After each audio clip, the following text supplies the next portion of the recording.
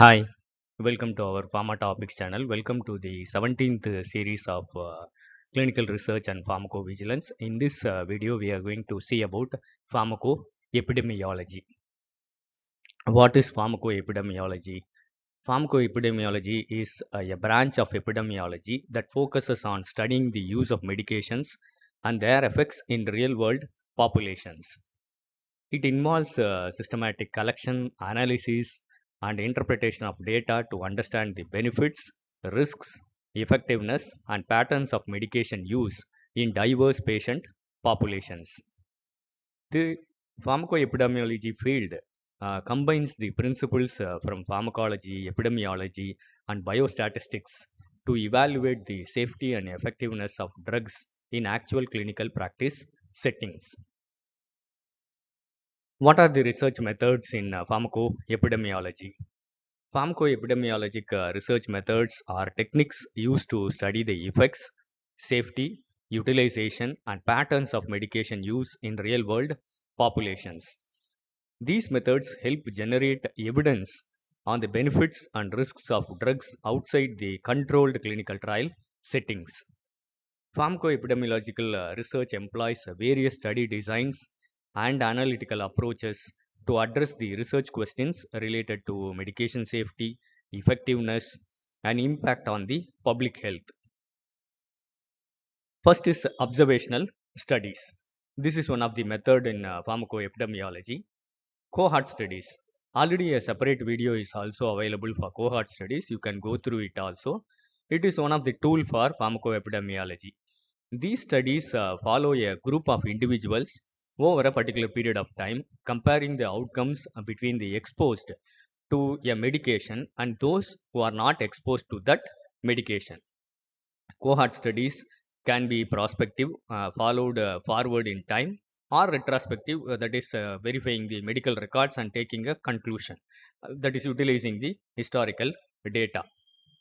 Next is uh, case control studies. In these studies, researchers identify the individuals with a particular outcome, that is the cases, and uh, for example, smokers, and compare their medication exposure history with that of a group without that outcome. For example, whether they have uh, cancer, lung cancer, that is outcome. Cross-sectional studies. These studies assess the medication use and outcomes at a single point in time, providing a snapshot of the drug's exposure and health outcomes in the population. Next is uh, database studies. This is one of the tool in pharmacoepidemiology.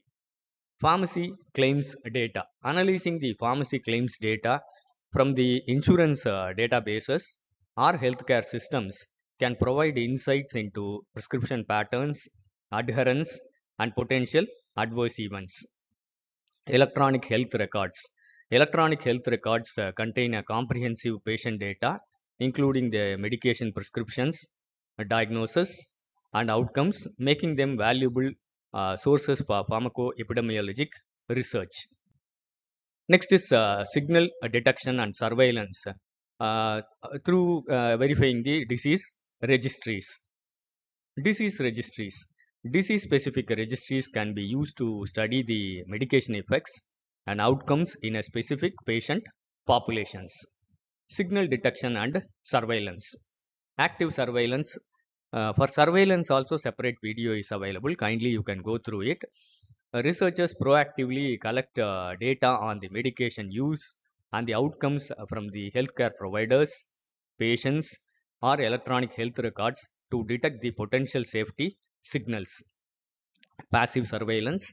Researchers uh, rely on the spontaneous reporting of the adverse events to the pharmacovigilance systems such as uh, FDA's Adverse Event Reporting System, that is FAERS, or in India it is na Pharmacovigilance Program of India, that is National Pharmacovigilance Programs.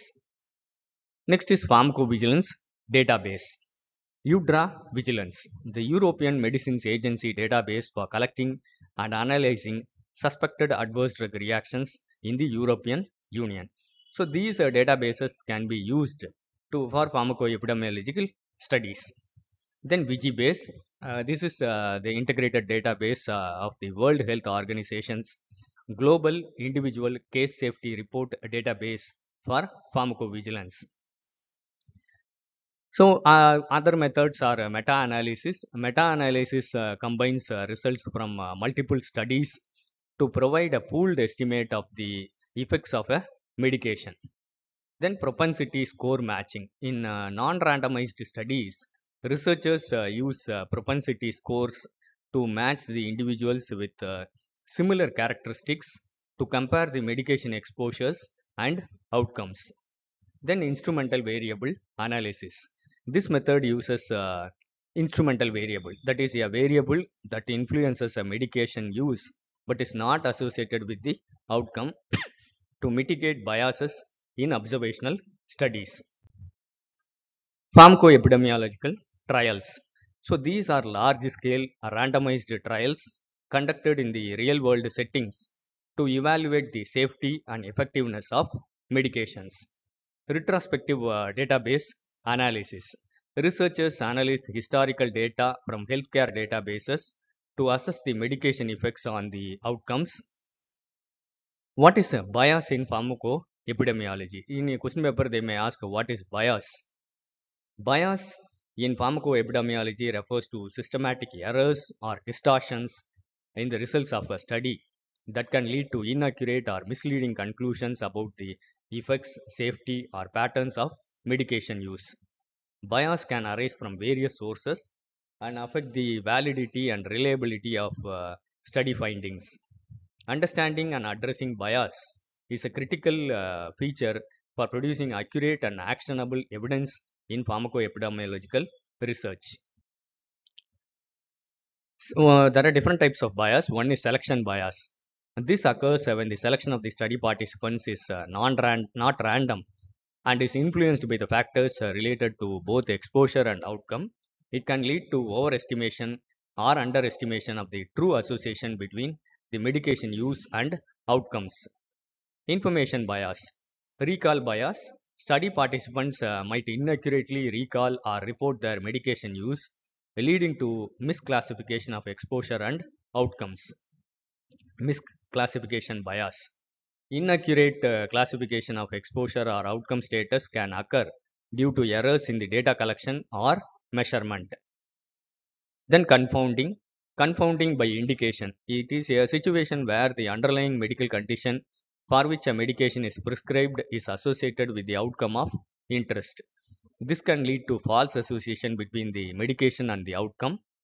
Then confounding by severity. The severity of the disease or the condition can influence both the choice of the medication and the outcome, leading to a biased association. Next is the publication bias.